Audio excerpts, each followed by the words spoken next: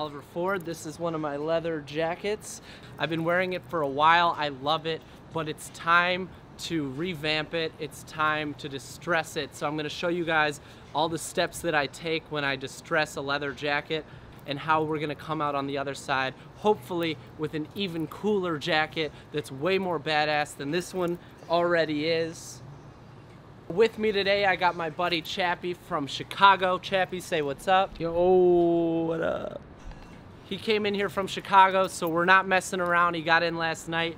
Boom, day one. Let's check out how we're gonna distress this jacket, Oliver Ford style.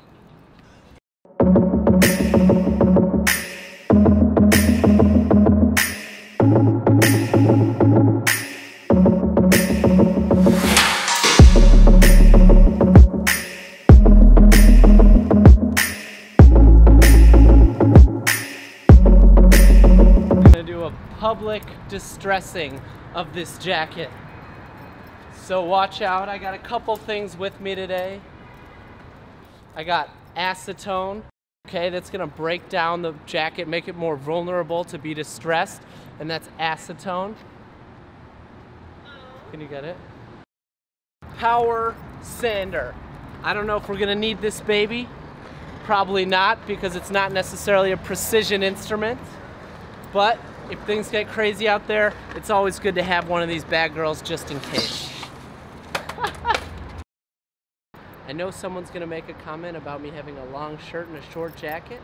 So just for you guys that don't already know, if it's Alexander Wang, let it hang, okay? Now let's get started. I got the duck fat, the leather fat, that's for later, okay? To start getting the jacket more vulnerable, I'm gonna pour this all over it and start rubbing out kind of the red dye, getting it even more distressed than it already is. And I'm gonna be using sandpaper to do that. Then I have imported from Tokyo coin silver, which I'm actually gonna use to give it kind of a silvery sparkle, more of a 2018 twist, I think. So most people will use things like sand to give it that Mad Max type of look. I'm gonna do something a little weird that's never been done before. We'll see how it goes. But I'm gonna be throwing this silver. So hopefully it'll get a little shimmery once we get going. And from there, without further ado, let's get started on the last and most important piece. We're dressed, let's distress. One of the things you want to focus on to give it more of a realistic look is especially getting your acetone and getting your sandpapers onto the elbows and the shoulders because that's going to give you that realistic kind of badass I just fell off my motorcycle kind of look.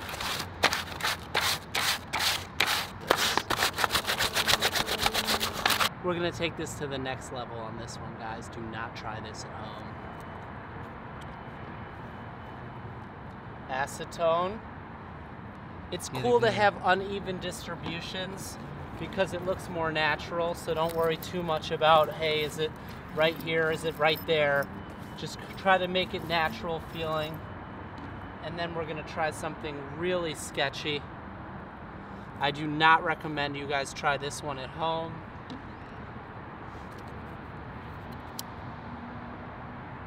And you want to just get this thing lit right here and you want to get it all in the acetone and there it is Oh my god.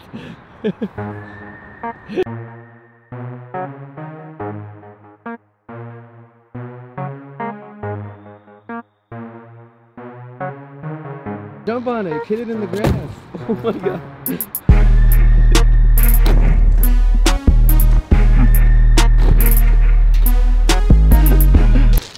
these are nice shoes.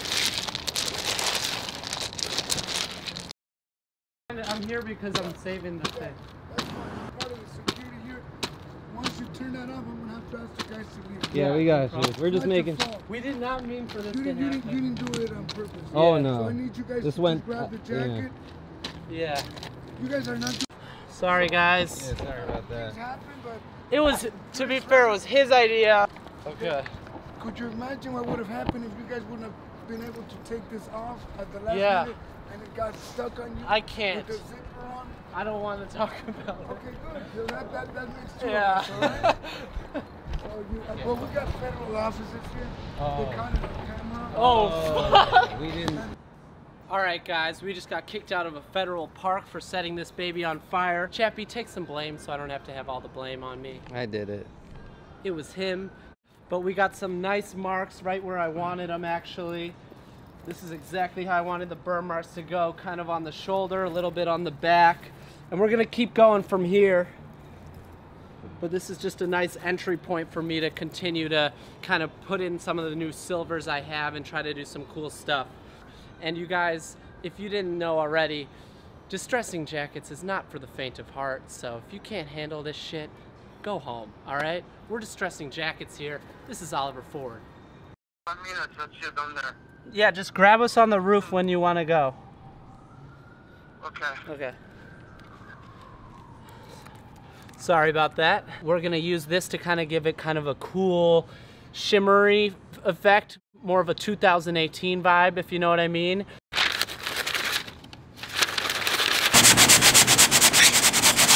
So you do not want to take things easy on this. I'm gonna keep on bashing away at this, and then when I'm done, and I feel like I've really gotten kind of the coloring I need and the distribution I need on this jacket. Then I'm gonna go ahead and get my leather fat and I'm gonna kind of reinvigorate the edges and make it a nice soft finish, smooth leather finish like you're used to once I've already done enough distressing. I'm almost done, couple more steps.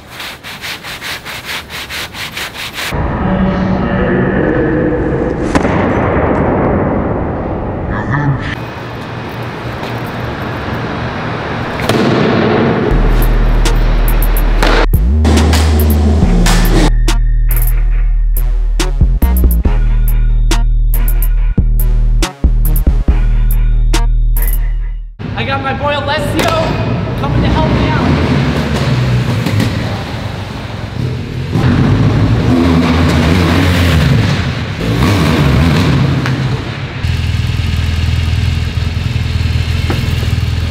Actually see some of the silver that made it onto the jacket from the coin dust.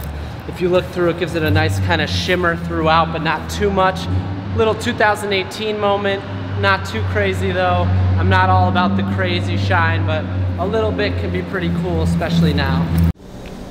So real quick pro tip here. Another thing you can do is set your oven to one of the lower settings. I usually put it around two, we're gonna go 225 here today. And we're gonna put the old jacket in the oven. We're really going for that post-apocalyptic type look today. And I think this is gonna help.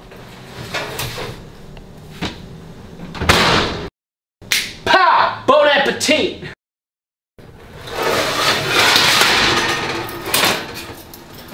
Nice and warm. Starting to get a nice finish on here. Starting to settle in beautifully. So now we got one more step, paint. All right, we're done with last night. It's the next day and I have finished the bomber, so I'm gonna give it to my friend Matt Kali because he's been a good friend and he's done a lot for me. I like to give him away sometimes to people that matter, uh, people that have influenced my life, usually in an artistic way. So, I'm gonna give him this. finished product. Here we go.